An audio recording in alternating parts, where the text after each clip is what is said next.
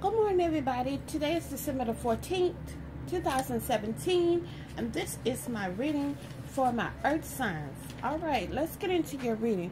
First card here you have is this is the Hermit card. So this is telling me that some of you need to sit down and think about some things that you've been going through here. And you need to make some decisions in regard to the situation. Because some of you have been feeling restricted in regard to whatever's going on in your life at this time. The next card you have is the strength card. The strength card is telling me that you can handle anything that comes your way here. You just need to sit down, take the time that you need for yourself, think about what you're going to need to do, make the decision and go with it. Because you have the victory card. You're going to get the victory over this situation. Whatever it is that's bothering you or whatever you're going through at this moment, you will have the victory in it here.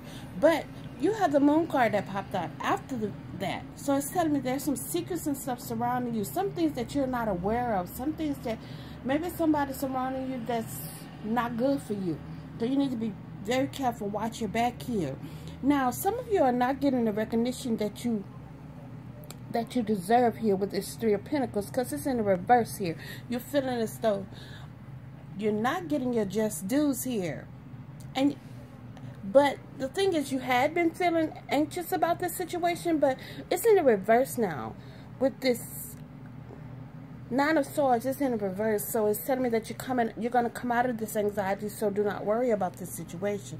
And in the end, you have the Ten of Cups. This is completion here. So, if you've been going through a rough time, things are going to come full circle here, and you're going to, it's going to be good, because this is the Ten of Cups. This is a great card to get in the reading. Things are going to work out for you regardless. All right, please like and subscribe, comment to my channel. Thank you so very much.